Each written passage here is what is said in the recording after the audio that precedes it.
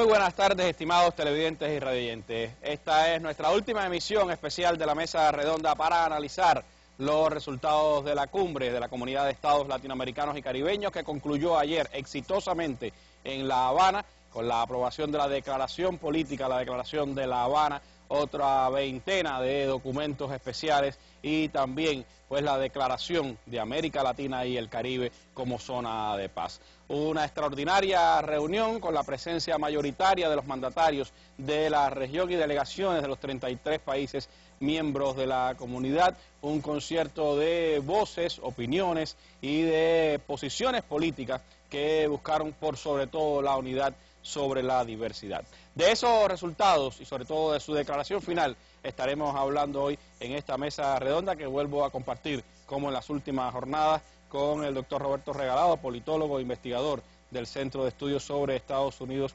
Hemisféricos y sobre Estados Unidos de la Universidad de La Habana y con el profesor Antonio Romero, economista, investigador del Centro de Investigaciones de la Economía Internacional y también jefe de la Cátedra del Caribe de la Universidad de La Habana. Con ellos estaremos mirando estos importantes acuerdos de la cumbre de La Habana, su significación y trascendencia.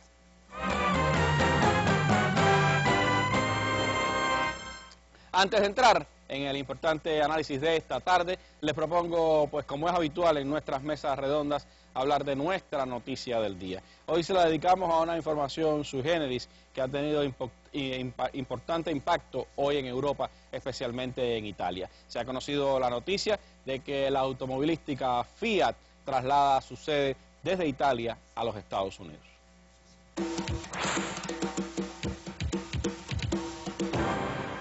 Italia está conmocionada al anunciar Fiat que abandona el país después de 115 años de historia. La emblemática marca italiana de automóviles se llamará a partir de ahora Fiat Chrysler Automóviles, traslada su sede social a Holanda, su sede fiscal a Londres y comenzará a cotizar en Wall Street, mientras que en la Bolsa de Milán solo mantendrá una cotización secundaria. Bueno, esa es la noticia del momento. Los italianos están expresando su pesar, sin duda, la firma emblemática de Italia durante el último siglo y además, pues también una de las revelaciones, uno de los símbolos del momento de crisis económica, política y social que está viviendo el país europeo. Nuestra noticia del día, un reflejo también de la grave crisis económica internacional que se vive por estos días. Entremos entonces en el análisis de nuestro tema de hoy, los resultados, los principales acuerdos de la segunda cumbre de la Comunidad de Estados Latinoamericanos y Caribeños.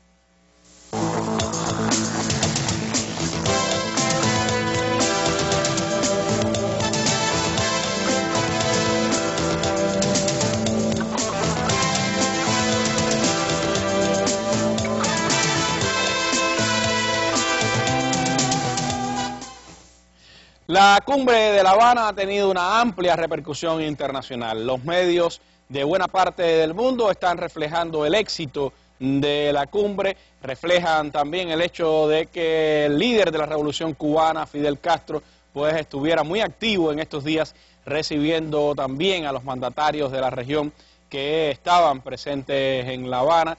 Han señalado que ha constituido esta cumbre de La Habana una derrota a la posición aislacionista de Estados Unidos, al intento norteamericano de aislar a Cuba de su contexto regional. Incluso los voceros de la Casa Blanca tuvieron hoy que salir de alguna manera a reconocer el fracaso de la política del bloqueo contra Cuba por parte de los Estados Unidos y también pues han señalado la mayoría de los medios internacionales el éxito de Cuba en acoger a todos los mandatarios, la hospitalidad con que se trató a todas las delegaciones presentes en La Habana y los resultados finales de esta cumbre. Les propongo ver el enfoque de la cadena multinacional Telesur para después hablar con nuestros invitados de la noche.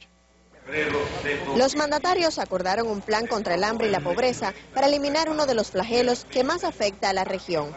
Además, los presidentes firmaron la proclamación de América Latina como zona de paz, con el compromiso de los jefes de Estado de no intervenir en los asuntos internos de otro país. América Latina y el Caribe como zona de paz, basada en el respeto de los principios y normas del desarrollo internacional, incluyendo los instrumentos internacionales de los que los Estados miembros son parte y los principios y propósitos de la Carta de las Naciones Unidas. La descolonización de Puerto Rico y su inclusión en la CELAC, la entrega de las Islas Malvinas Argentina y la devolución a Cuba de la base naval de Guantánamo centraron los discursos de los presidentes quienes pactaron una agenda común para desarrollar verdaderos mecanismos económicos. Además agradecieron a Cuba como baluarte de la integración y país orientador. Acabar con los viejos enclaves y las viejas formas de colonialismo y con las nuevas formas de colonialismo que por distintas formas se nos van colando. Los nuevos colonialismos culturales que nos llevan de antivalores de violencia, de culto a las drogas, de culto a las armas y han llenado de violencia a toda nuestra región. Las nuevas formas de colonialismo financiero, de colonialismo económico que se pretenden para controlar nuestros recursos naturales, para controlar nuestras riquezas. Como un ejemplo del avance de paz pactado en esta cumbre, los presidentes de Perú y Chile acordaron cumplir el fallo internacional de La Haya y mantener los múltiples lazos bilaterales. Y mantener nuestra, nuestra posición de cumplir el fallo de La Haya en los plazos más breves y de forma gradual. Hemos decidido anticipar la reunión denominada 2 más 2, que es la reunión de los ministros de Relaciones Exteriores y de Defensa, para poder en esa instancia acordar los pasos a seguir que nos permitan implementar este fallo. Cuba entregó a Costa Rica la presidencia pro tempore de la CELAC tras la firma de varios acuerdos para erradicar la pobreza y garantizar tratados intra y extrarregionales. Por su parte, Costa Rica asumió el cargo con el desafío de encontrar consensos para el bienestar de los pueblos. Costa Rica se compromete a trabajar porque CELAC sea un crisol de solidaridad latinoamericano y caribeño, abierta en tiempo y abierta en territorio. Digo que solidaridad abierta en lo temporal, porque afincada en el presente y arraigada en la historia y cultura comunes, debe proyectarse hacia el futuro la erradicación del hambre y la construcción de un plan capital para cumplir con el desarrollo de los objetivos del milenio y la agenda para el cambio climático son hoy los desafíos para el futuro de la CELAC. Rosario Ojeda, Telesur, La Habana. Pero así lo enfocaba Telesur, así lo han hecho también otros medios de comunicación internacionales y por supuesto algunos de la derecha y grandes medios transnacionales han intentado ocultar o darle un lugar secundario a este importante acontecimiento en La Habana. No hay dudas de que la declaración de La Habana recoge el espíritu de esta reunión que tuvo lugar en la capital cubana y constituye una piedra angular para el presente y el futuro de la comunidad. Entre otras cosas, esta declaración de La Habana destaca que a dos años de la puesta en funcionamiento de la Comunidad de Estados Latinoamericanos y Caribeños, hemos logrado construir un espacio de diálogo y concertación política que nos une y hace posible la aspiración de trabajar juntos por el bienestar de nuestros pueblos, que permite a su vez una mejor inserción y la proyección de nuestra región en el ámbito internacional. ¿Cómo catalogar eh, regalado después de estas dos jornadas de diálogo, después de que los presidentes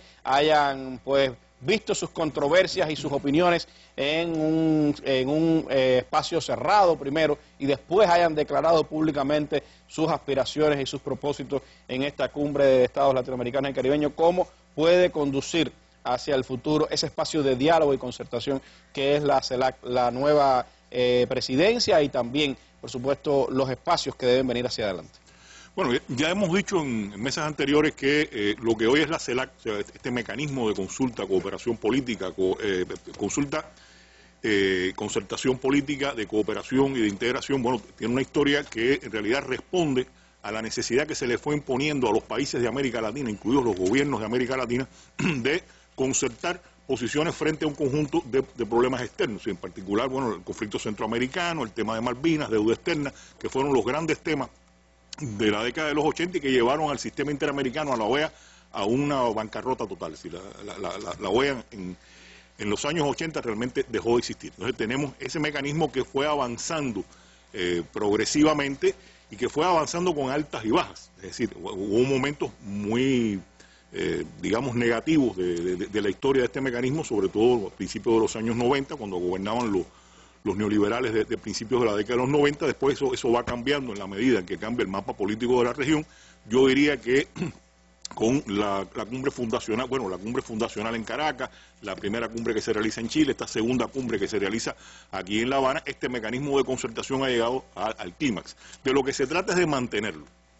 De lo que se trata es de mantenerlo, si no hay ningún organismo, ningún mecanismo de esto que sea bueno o malo en sí mismo.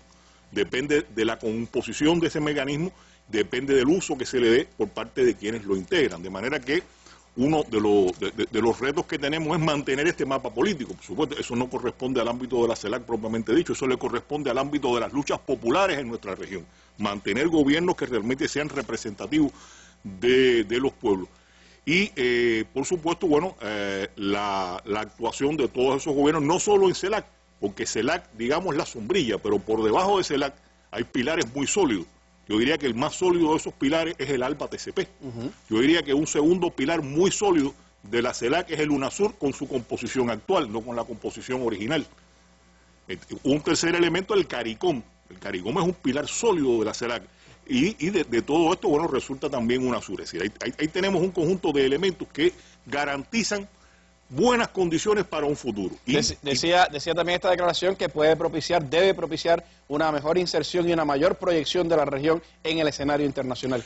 Yo creo que se ha visto, y sobre todo yo, creo que es muy, muy, muy, muy elocuente las vistas que se tomaron, los discursos de los mandatarios. Yo creo que el pueblo de Cuba y en general toda la teleaudiencia que ha estado siguiendo esto pudo comprobar cómo hay problemas muy difíciles, cómo hay problemas muy serios, cómo hay asuntos que de verdad que son motivo de fricción entre, entre estados latinoamericanos, estados latinoamericanos, estados caribeños, pero cómo todo eso quedó subsumido por el balance general de la reunión, por el desarrollo general de la reunión, por los acuerdos fundamentales de la reunión. Y yo creo que hay una buena perspectiva de futuro y también esa buena perspectiva de futuro debe estar guiada por un correcto desempeño del cuarteto es decir, de los gobiernos que van a estar llamados a conducir, preparar y conducir los trabajos de la CELAC de ahora en adelante. Que para este próximo año será Cuba, Ecuador y Costa Rica, que es ahora el presidente pro tempore, además de un país caribeño que cada seis meses rotará quien tenga en ese momento la presidencia pro tempore de CARICOM. Hay elementos que me parecen también significativos en el orden económico, Tony, y es el, el, lo que refrenda esta esta declaración de La Habana en cuanto a propiciar, a buscar un desarrollo sostenible y productivo en armonía con la naturaleza, que me parece un punto muy importante, y además refrendando que se debe dar un tratamiento favorable, dice, a las economías pequeñas y vulnerables, a los países en desarrollo sin litoral y a los estados insulares, que son los que más están sufriendo eh, como parte de todas estas crisis, la crisis económica, la crisis ambiental que estamos viviendo. ¿Cómo tú valoras este, este eh, estos objetivos que se plantea la CELAT en cuanto a un desarrollo sostenible con respeto a la naturaleza y con respeto también a esas particularidades que tienen los estados de la región.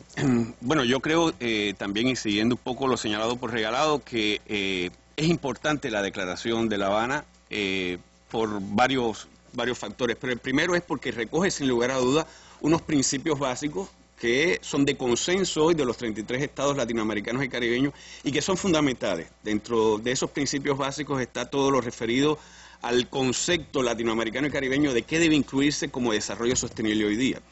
Eh, yo creo que en varios párrafos de la declaración y, eh, se plantea, en primer lugar, que ese desarrollo sostenible tiene que tener en cuenta tres dimensiones intervinculadas tiene que tener en cuenta la dimensión económica en términos de propiciar un crecimiento económico sostenible e inclusivo. En segundo lugar, tiene que tener un énfasis eh, importante en términos de la inclusión social y, por supuesto, también tiene que tener en cuenta el tema medioambiental, de que eh, se preserve, evidentemente, eh, la naturaleza.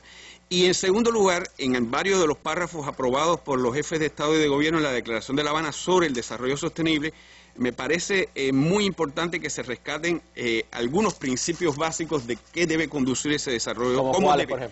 por ejemplo, el primero que señala es que eh, tiene que haber, en primer lugar, un tratamiento especial y diferenciado para los países de menor nivel de desarrollo relativo, los países insulares, que son muy importantes, sobre todo teniendo en cuenta la participación de los países caribeños dentro de ello. En segundo lugar, destaca que todo eso tiene que hacerse sobre la base de un compromiso de la comunidad internacional y siempre en función de los intereses del desarrollo nacional que de manera autónoma cada uno de los países han definido. En tercer lugar, se señala también como uno de los principios que deben conducir todo este proceso de consenso a nivel internacional para avanzar en términos de eh, desarrollo eh, sostenible, que las personas sean el centro de las preocupaciones y que a partir de allí, bueno, pues entonces cada una de las estrategias nacionales, regionales y a nivel multilateral, pues eh, se vayan implementando. Y por último, eh, yo creo que eh, también de manera importante se recoge en algunos de los párrafos que están aquí, sobre todo en los párrafos del 27 al, al 30,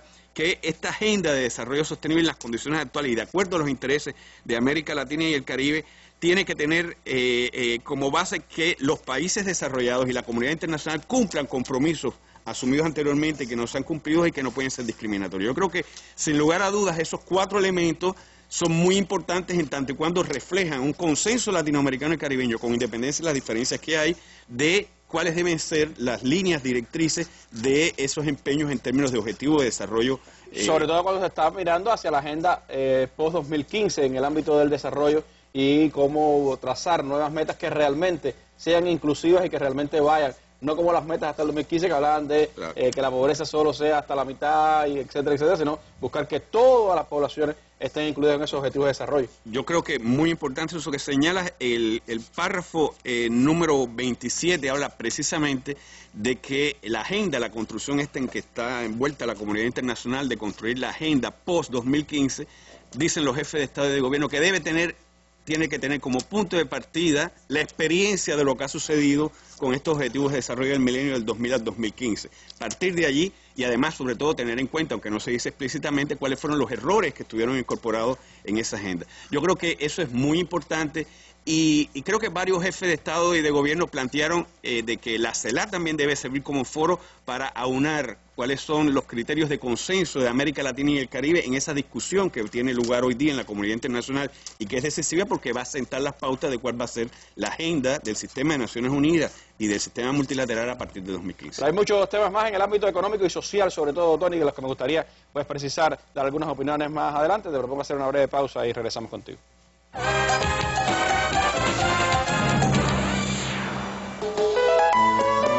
Este viernes, en la Mesa Redonda, Camagüey, 500 años de historia. Una mirada histórica desde la fundación de la Villa de Santa María del Puerto del Príncipe y un acercamiento a lo que es el Camagüey de hoy se hará este viernes en la Mesa Redonda, con la participación de autoridades gubernamentales y estudiosos de la historia de esa provincia.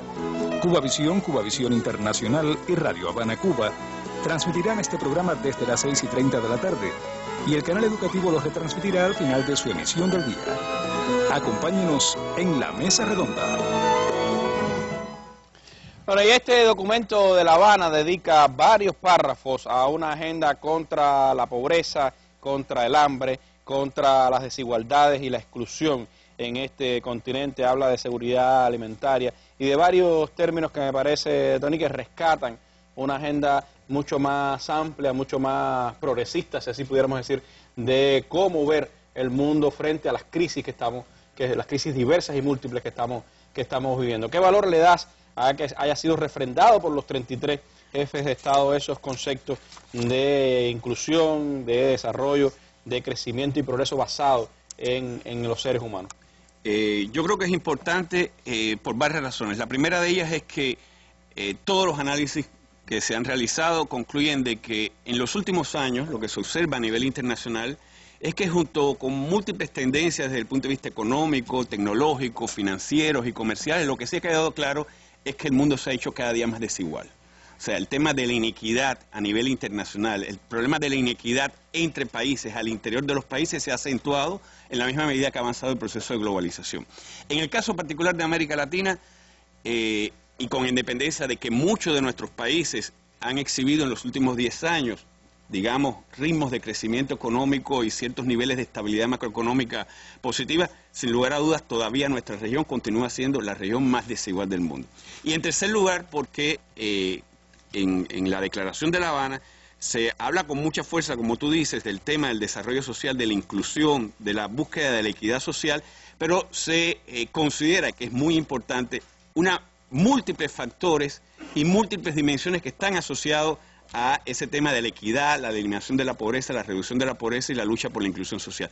Y por eso hay quizás eh, para algunos es demasiado largo, pero a mí me parece que es muy importante que como principios queden recogidos cuáles son distintos frentes en los cuales habría que actuar tanto a nivel de cooperación regional como a nivel internacional para avanzar en términos de inclusión social, en términos de equidad. Y por ejemplo se habla, como tú señalabas, primero el tema del hambre, eh, el impulso que debe tener la iniciativa de una América Latina y el Caribe sin hambre, el tema del acceso al agua potable, el tema de políticas sociales que tengan como eh, prioridad básica, digamos, eh, la inclusión social, las modificaciones que son necesarias también desde el punto de vista productivo para modificar las, las bases estructurales que en última instancia están detrás de esa heterogeneidad estructural y social que tiene la región y que explica indudablemente la, inequidad de nuestra región.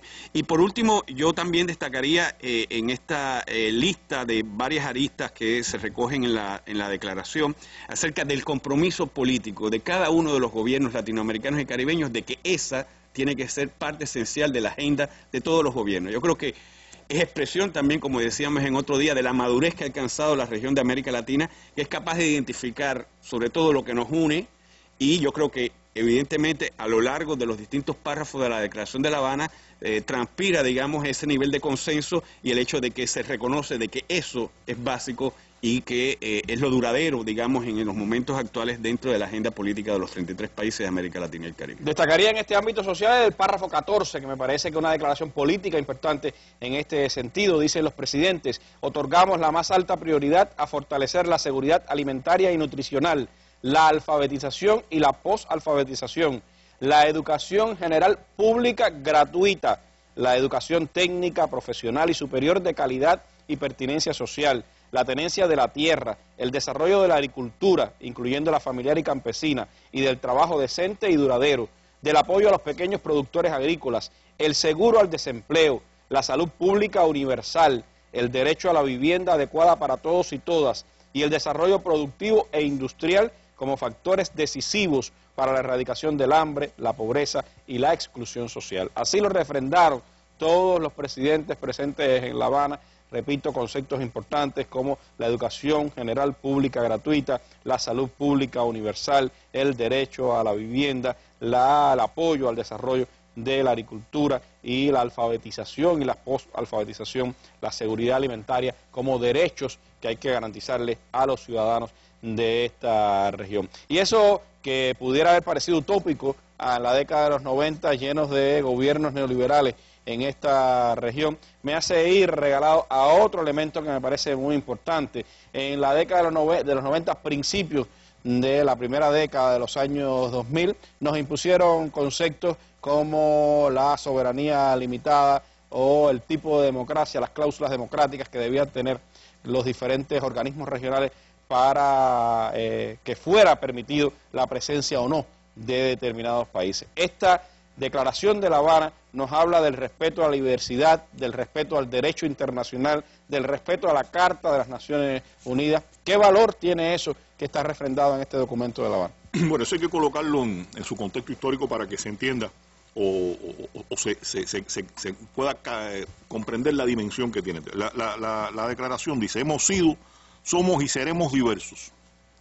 Y a partir de esa diversidad es que tenemos que identificar los desafíos y objetivos comunes y los pisos de convergencia que nos permitirán avanzar en el proceso de integración de nuestra región. Después dice, fortalezcamos nuestras democracias y todos los derechos humanos y después continúa. Bueno, ¿a qué se contrapone esto? Bueno, en efecto, esto se contrapone a la imposición que se hizo eh, finales de los 80, principios de los 90, del concepto de que la democracia representativa, entiéndase, el capitalismo, el sistema político capitalista, es la única forma legítima de gobierno en el continente americano. Si se, decía, es decir, ahí se, se, rompió con la historia, se tapó la historia, se borró la historia. Se borró la historia de que en América Latina nunca ha habido democracia.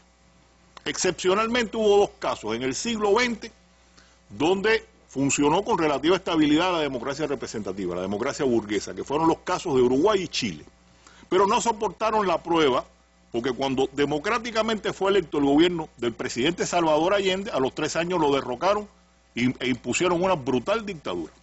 Y cuando comenzó a levantar el movimiento popular en Uruguay, también en el mismo año 73, se produjo un autogolpe primero que después derivó en, dictadura militar. O sea, no, no soportó la prueba del tiempo. Y yo me remito, porque los Estados Unidos históricamente han invocado a la democracia, a la defensa de la democracia como justificación para intervenir en los asuntos internos de América Latina, incluso militarmente.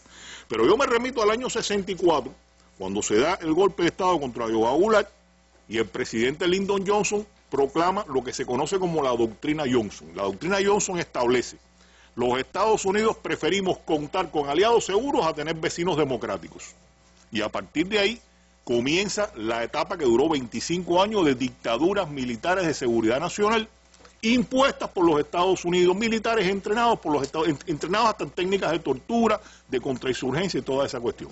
Entonces, esas dictaduras militares de seguridad nacional su, propósito inicial era, bueno, por supuesto, reprimir brutalmente, cometer genocidio. Y cuando terminan de cumplir su función, país por país la van quitando. Un proceso que le llamaron proceso de democratización, que realmente era un, era un pacto entre los militares que ya habían cumplido su función y los partidos de derecha porque proscribieron a los de izquierda y también algunos que no eran de izquierda. y eliminaron a los líderes de izquierda. Y, se firmaron entonces además leyes, se dictaron leyes de impunidad. Entonces, descaradamente a partir del 89, son las, últimas dictaduras, o sea, la de Paraguay y la de Chile, que terminan ambas en el 89, a partir de ahí los Estados Unidos empiezan a imponer todo este concepto de la democracia representativa. O sea, e, ellos no habían tenido supuestamente ningún papel, se habían sido dictadores. Pinochet se le ocurrió ser dictador, a Videla se le ocurrió ser dictador, los Estados Unidos no tenían nada que ver con eso. Cuando bien decía el presidente Evo Morales, que donde único no se han dado golpes de Estado en, América es en, Washington, porque no hay embajada de los Estados Unidos, si lo hubiera también ahí, habría habido golpes de Estado. Entonces, ¿qué tenemos? Bueno, tenemos en el, compromiso de Santiago con la democracia representativa. ¿Qué establece? Ah, no, la indeclinable, si tiene que ser democracia representativa. Después viene el protocolo de Washington, que modifica la carta de la OEA. Igual, sencillamente era un mecanismo para aislar y estigmatizar a la revolución cubana, Segundo, evitar que se, que se pudieran dar procesos de transformación social revolucionaria. Y tercero, también, por si acaso a alguien, que, en efecto ocurrió, algún loco se le ocurría dar un golpe de Estado cuando ya a los Estados Unidos no le interesaba que lo hiciera, se le ocurrió a Fujimori dar un autogolpe y se, y se le ocurrió a los militares haitianos dar un golpe a. Entonces, bueno, no, esa gente hay que, hay que pacificarlo. Entonces, se crean, como tú bien dices, la, la famosa cláusula democrática, que era básicamente para aislar a Cuba para, y, todos los mecanismos empiezan a, copiar la, cláusula democrática. Y bueno, ¿y cómo cambia esto? ¿Y por qué cambia esto? Bueno, cambia porque eh, hay un acumulado de luchas populares que va llevando a, están en la simiente de todos estos procesos de Venezuela, Bolivia, Ecuador.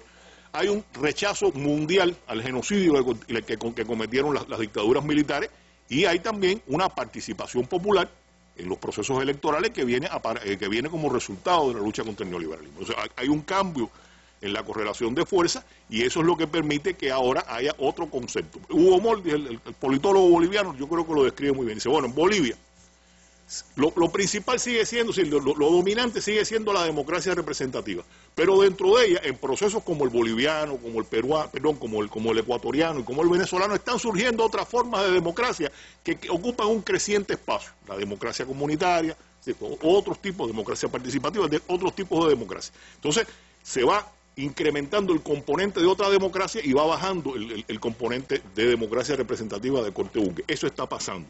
Entonces, como dice, bueno, ya la democracia representativa, por lo menos en Bolivia, Venezuela y Ecuador, ya no es la misma. Entonces, yo creo que eso es lo que está en la base de lo que ha ocurrido acá. Si nada de lo que ocurre en la CELAC ocurre como resultado de trabajo de burócratas. Todo es resultado de correlaciones políticas. Y un resultado de esa correlación política es que se haya restablecido, que se estableció durante un tiempo en la década de los 70, se haya restablecido el concepto de pluralismo en las relaciones entre los países de América Latina y, y respeto a la Carta de las Naciones Unidas, al derecho internacional. Que, también es muy importante porque este eh, eh, no me dejarán mentir los compañeros nuestros del, Ministerio de Relaciones Exteriores que siguen el tema de organismos internacionales, que durante la década de los 90 hubo una sistemática guerra contra los principios de la Carta de la ONU. No, en, ningún foro internacional las grandes potencias admitían que se hablaran de soberanía, de autodeterminación, de, decir, esas cosas desaparecían. Entonces ya, ya era usual que en, mecanismos como, como, este, pues sencillamente se, hablara de otras cosas. se, hablara, se, pusiera el énfasis en otros temas. Y, y, los principios de la Carta de la ONU sencillamente fueron proscritos, fueron convertidos en algo que no se debía ni recordar. Bueno, eso, eso de nuevo está muy bien reafirmado, muy bien establecido en conjunto con el concepto de pluralismo, de diversidad, que está evidente en, esta declaración. Gracias, Regalado. Y una de las personalidades que estuvo presente en esta cumbre de La Habana hizo un informe especial a los cancilleres de toda América Latina y el Caribe, es la secretaria ejecutiva de la Comisión Económica para América Latina y el Caribe de Naciones Unidas, la doctora Alicia Bárcenas Ibarra. Anoche estuvo con nosotros en la mesa redonda internacional de Telesur que condujo Arlín Rodríguez de Ribet y también pues concedió una entrevista a nuestra colega Marisela Recasén, de la cual hemos extraído este fragmento para nuestra mesa redonda. ¿Qué importancia le concede la CEPAL también a la cooperación internacional, a esa cooperación internacional que la CELAC también está convocada? Es muy importante porque la verdad es que en la región, la región tiene mucha experiencia. A ver, voy a poner un caso eh, muy concreto que es el caso de Cuba. Cuba es un país en realidad donde la igualdad es y ha sido un objetivo de la revolución. Entonces, si hay algún país que nos ha enseñado el camino de la igualdad es Cuba. Y Cuba ha logrado que la, que la salud sea un derecho, que la educación sea un derecho, en fin, que, que de verdad eh, la alimentación sea un derecho. Entonces, eso es lo que requerimos en, la, en el resto de la región. Por otra parte, Cuba está en un proceso de actualización de su modelo económico. Entonces también los demás países pueden a Cuba proporcionarle su propia experiencia de lograr la actualización del modelo económico con una característica y es evitar la concentración del ingreso, porque el resto de la región adolece de una enorme concentración del ingreso. Es decir, el quintil más pobre respecto al quintil más rico gana 10 veces menos en promedio y en algunos lugares hasta 30 veces menos el quintil más rico. Eso es lo que no puede ser, que la desigualdad persista porque eso conspira contra el progreso de la región. Gracias, Alicia. Coincidimos plenamente que la capacidad de la CELAC crecerá en dependencia de la voluntad de sus gobiernos en generar consenso en torno a un objetivo común, erradicar el hambre, la pobreza y la desigualdad.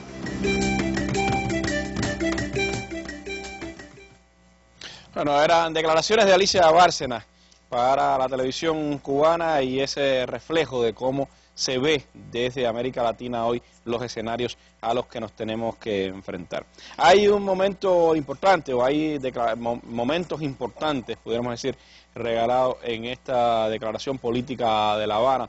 Y sobre todo me quisiera detener en el hecho de que hay cuatro temas latinoamericanos y caribeños que están eh, reflejados dentro de todos los conceptos, de todos los pronunciamientos que han hecho los mandatarios. ¿Qué valor le da usted al hecho de que la declaración de La Habana tenga referencias especiales al tema de las Malvinas, al tema del bloqueo contra Cuba, al tema de Puerto Rico y al tema de la paz en Colombia? Bueno, eh, vamos a empezar por, el, tema de Malvinas, ¿no? Es decir, el, el tema de Malvinas fue uno de los temas que originalmente eh, están contenidos en la Declaración de Río de Janeiro, o sea, en la Declaración de, Río de Janeiro de 1986, cuando el Grupo de los Ocho, que era como se llamaba entonces, decide que ya no solo se va a encargar del tema centroamericano, sino que va a, convertirse en un mecanismo de consulta y concertación política, bueno, los primeros temas que se inscriben es precisamente eh, mantener el tema centroamericano, Malvinas, Malvinas y el tema de la deuda externa. Son los tres grandes temas que convirtieron a la OEA en inoperante en la década de los 80 y que colocaron las contradicciones entre la administración Reagan y los gobiernos civiles de América Latina en su, punto máximo. yo creo que es un tema histórico donde el, conjunto de América Latina, bueno, apoyó a Argentina, incluso en, el tema ese de la guerra de Malvinas y pasando por alto, por supuesto, el, tema de que había sido tratado de manipular por una dictadura. Pero, como bien dice la, compañera Juliana, la embajadora de Argentina acá, nosotros los que estábamos siendo reprimidos, dice Juliana, también salimos a la plaza a defender la soberanía de Argentina sobre el tema, o sea, es un tema histórico. El tema de Puerto Rico, quiero llamar la atención, eh, hace dos días en la, Casa del Alba Cultural, el compañero Ricardo Alarcón y la compañera Wilma Riverón hicieron ahí una exposición, y Alarcón recordaba la dificultad que hubo eh, cuando se empezó a hacer, cuando se empezaron a hacer las gestiones para inscribir el tema de Puerto Rico en, el, comité, en el comité de descolonización. Y él, que en aquel momento era bueno, embajador de Cuba, representante permanente de Cuba ante la ONU, cuenta los trabajos que pasaba.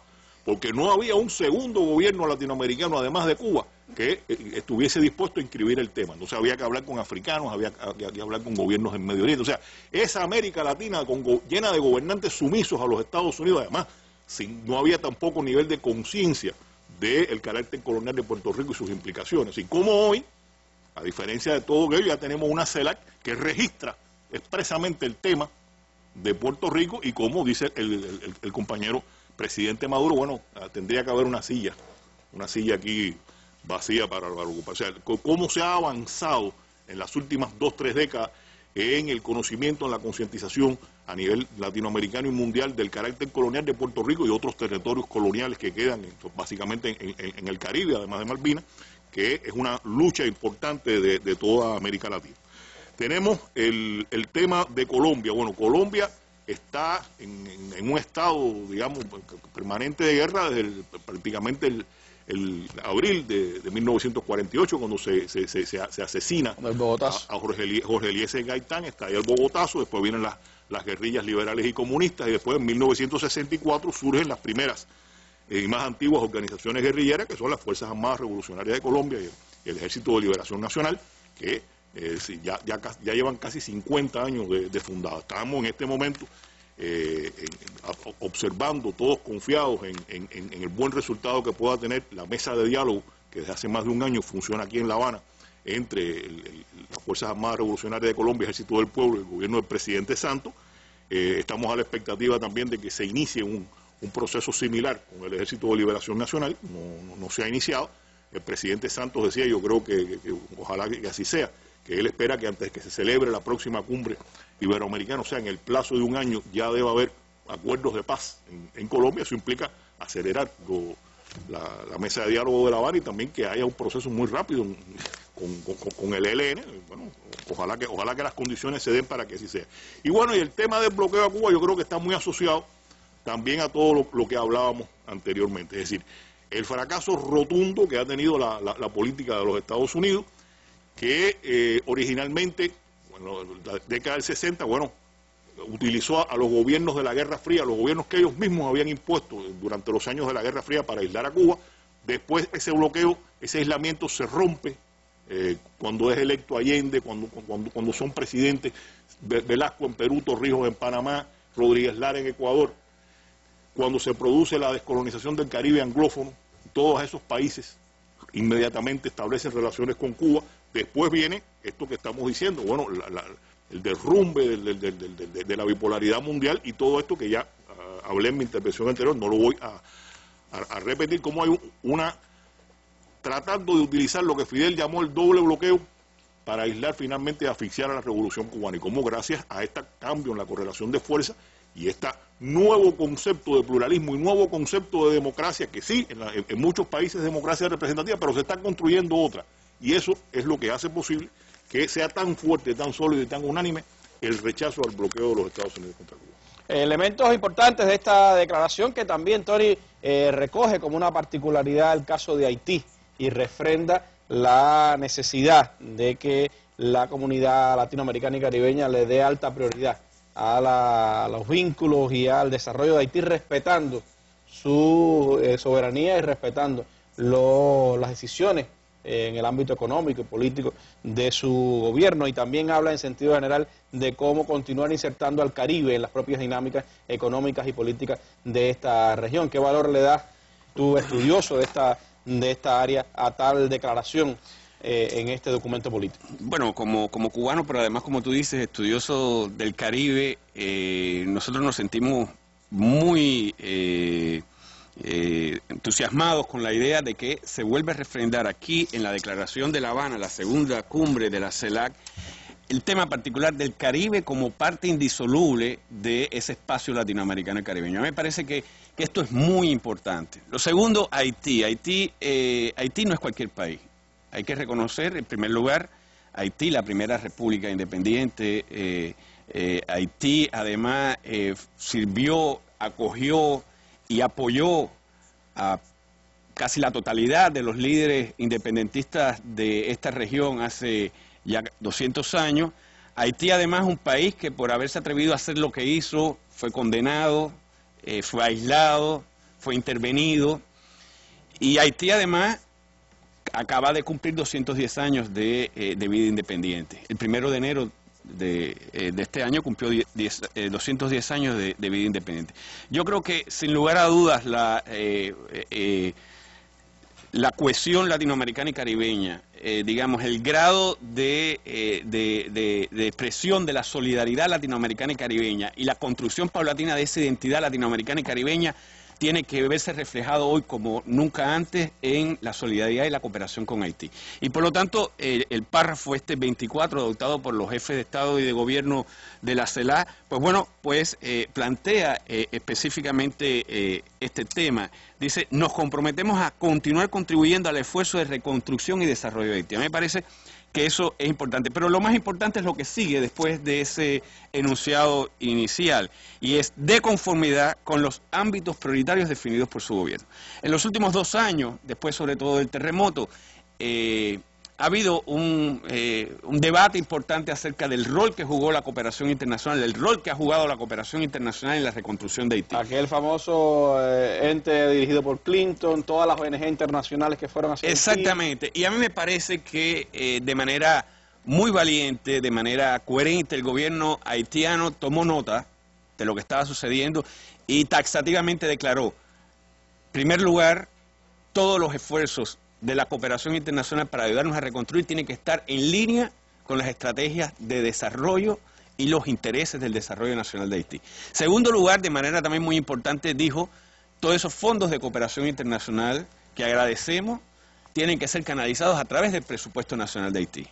Y en tercer lugar, una cosa muy importante que, eh, muchas veces eh, se pasa por alto, eh, como parte de, los serios problemas que enfrentó, eh, que ha enfrentado Haití, sobre todo después de, del desastre que implicó el terremoto de enero de hace cuatro años ya, pues la competencia que ONGs internacionales le hicieron en términos de tratar de contratar los pocos recursos humanos que quedaron vivos y profesionales después en Haití, pues por supuesto pusieron al sector público y al gobierno haitiano en una posición muy desventajosa.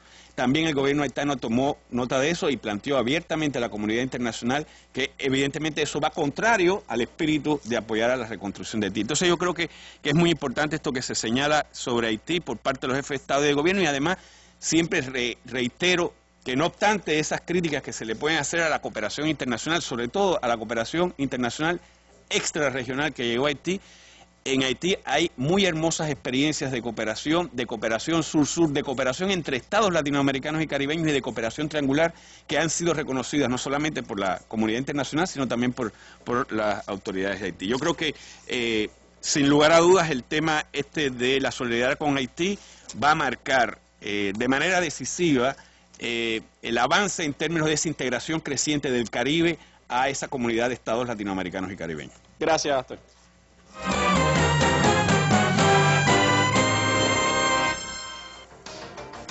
Más de 2.600 emisiones en vivo. Hemos creado un sistema de integración sin precedentes en la historia del mundo. Tribuna para los líderes progresistas de nuestra América. La presencia de Cuba eh, fue realmente, yo diría, totalizante.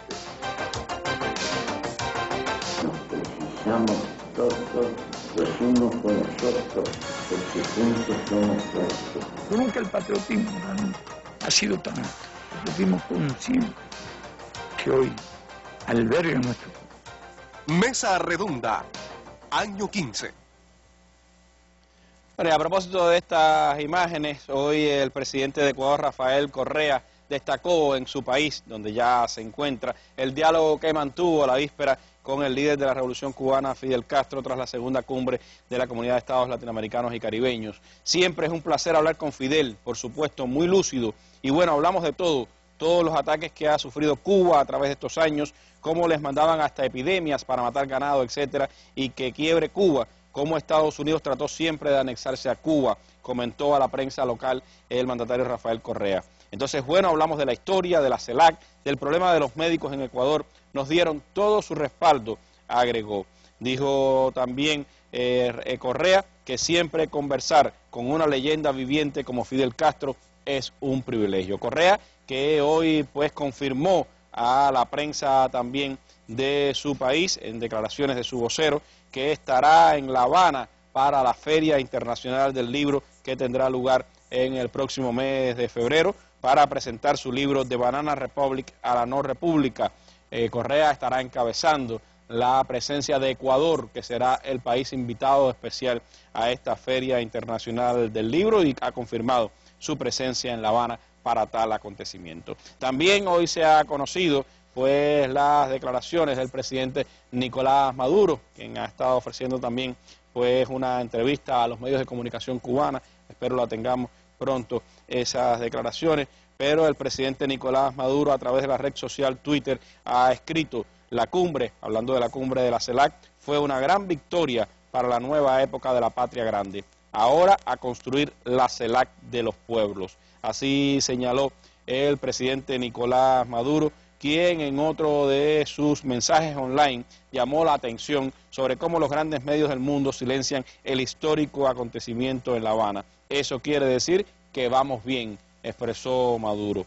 La CELAC es la realización del sueño de los libertadores de unir nuestra América para consolidar la independencia. Nuestro comandante Chávez fue reconocido ampliamente por todos los líderes de la CELAC por su lealtad bolivariana, todo el gobernante en sus mensajes de Twitter en la jornada de hoy. En estos minutos finales creo que me gustaría señalar otro de los muchos elementos, Tony, que tiene esta declaración que me parece muy valiosa. Pero el hecho de que la declaración reconozca bueno, la pertinencia en cierto sentido de la inversión extranjera en esta región que la necesita, pero a la vez pues señale cuáles deben ser los límites de esa inversión y cómo debemos los latinoamericanos y caribeños defender los recursos naturales, cuánto de valioso tiene frente a la realidad que estamos viviendo ahora mismo en este continente.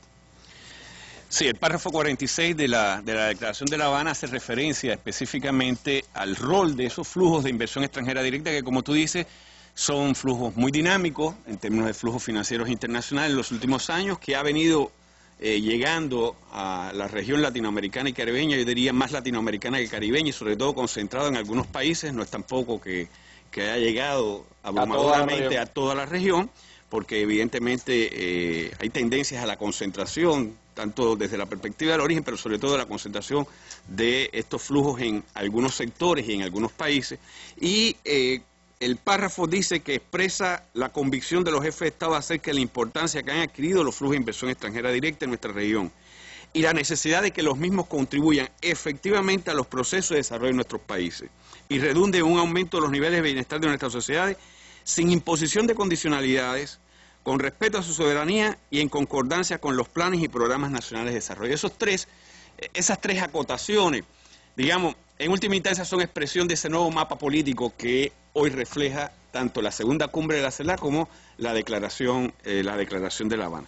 Lo segundo es que vinculado al tema de la inversión extranjera directa también hay un consenso de los 33 países latinoamericanos y caribeños que se recoge en el párrafo 43 de eh, la Declaración de La Habana que subraya la importancia, dicen los jefes de Estado, de que nuestros países fortalezcan su preparación en materia de atención a controversias internacionales y consideramos que se debe evaluar la posibilidad de que nuestra región se dote de mecanismos apropiados para la solución de controversias con inversionistas extranjeros. Creo que eso tiene mucho que ver con el caso Chevron en Ecuador, por ejemplo, que es un caso típico. Eso evidentemente refleja también la preocupación y al mismo tiempo la solidaridad de los jefes de Estado y de Gobierno de América Latina y el Caribe con, eh, en el caso particular de, Ecuador, y la demanda que tiene interpuesta ante Chevron, y, bueno, toda la discusión que alrededor de este caso se ha propiciado acerca de lo que significa recurrir al CIADI, del Banco Mundial, para la solución de controversias entre Estados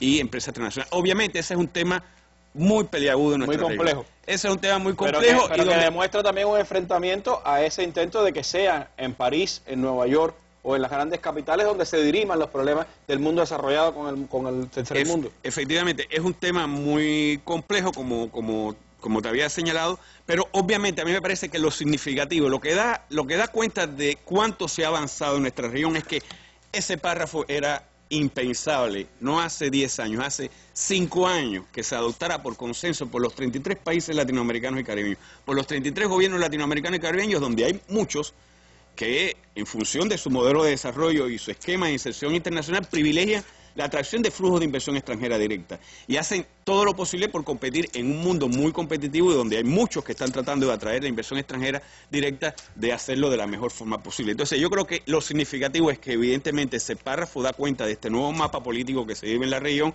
con independencia de que eh, obviamente... Eh, no creo que eh, todavía se haya llegado a un punto en el cual evidentemente hay un consenso regional de eh, buscar mecanismos totalmente alternativos para el tratamiento de, esta, de estos temas de las demandas entre eh, inversionistas extranjeros y Estados nacionales. Lo que sí, evidentemente, ya hay, digamos, un planteo político al más alto nivel de que hay que analizar, hay que poner sobre la mesa de discusión el tema este, porque obviamente, y todos los análisis lo dicen, la mayor parte, digamos casi de cada 10 casos, en 9 casos, la eh, decisión de ese tipo de órganos de arbitraje favorecen al inversionista extranjero.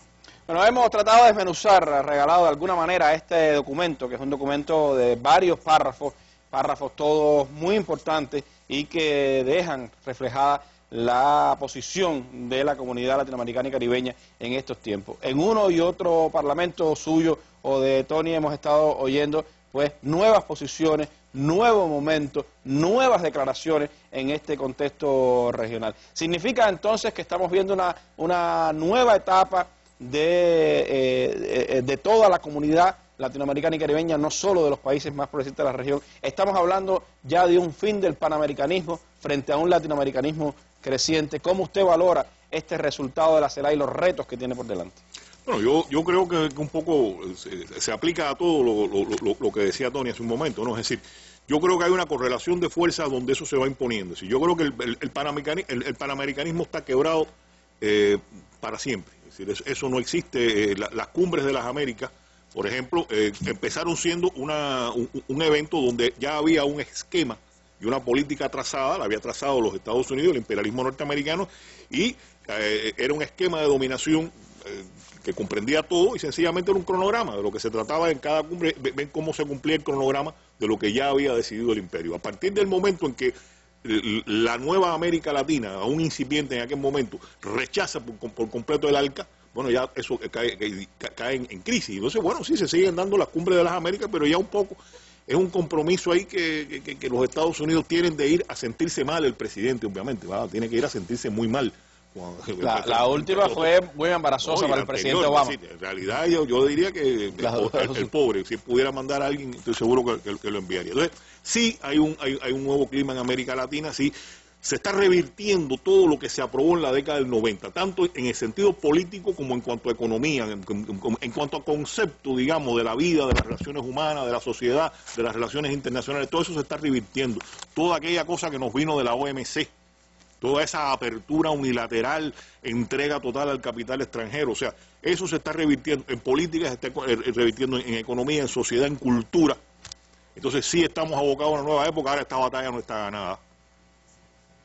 En, política no hay nada lineal. Es decir, esta correlación de fuerza hay que mantenerla y hay que mantenerla no solo en los gobiernos, hay que mantenerla en la calle, la gente luchando, los sindicatos, los movimientos sociales, los partidos políticos de izquierda, las fuerzas progresistas, tienen que mantener esta correlación de fuerza, porque si no esto se revierte de nuevo. Por eso un poco en este tuit de Maduro hablaba de que ya hemos construido la CELAC de los gobiernos, tenemos que ir a la CELAC también de los pueblos la CELAC de los pueblos, que estoy seguro que existirían excelentes condiciones para que los movimientos sociales, las fuerzas políticas, bueno, incluso hay, hay mecanismos que ha creado, ¿no? Los movimientos sociales de Calalalba, es un conjunto del eventual. Esta batalla no está ganada, aquí no hay nada ganado, hay, un excelente eh, escenario. Ahora, esto hay que mantenerlo, esto, hay que...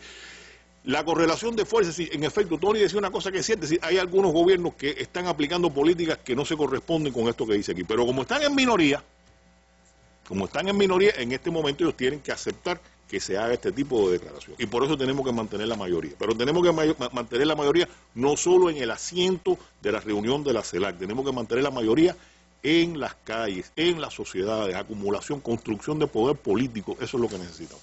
Pues ese está ahí, los grandes desafíos que tiene esta comunidad, que crece como actor político internacional, que refrenda ya en esta declaración también como muy positivo todo lo que se ha venido construyendo de cara a las relaciones de América Latina con la Unión Europea, de manera particular las relaciones con China y con Rusia, están refrendadas en este documento, y en sentido general esa posición de comunión entre todos los países de la región por encima de las diferencias. Ahí está el gran resultado, el gran saldo de esta cumbre de La Habana. Por sobre las diferencias, mantener la unidad, buscar propósitos comunes, soñar en proyectos conjuntos, ver a la América Latina y el Caribe como una fuerza creciente y poderosa dentro de la comunidad internacional, con una voz propia, en una región de paz, en una región que busca el desarrollo sostenible con respeto al medio ambiente, en una región que tiene que pensar cada vez más en el ser humano, porque más allá de ser la más rica en recursos naturales, es también la más desigual del planeta. Ahí están los grandes retos para nuestra América Latina y el Caribe. Qué bueno que La Habana haya sido asiento de esta reunión. Qué bien que Cuba haya podido conducir durante todo un año a esta comunidad de estados latinoamericanos y caribeños y haya abierto cauces a esa mayor comprensión de lo que somos como latinoamericanos, del acervo que recogemos durante 200 años de nuestra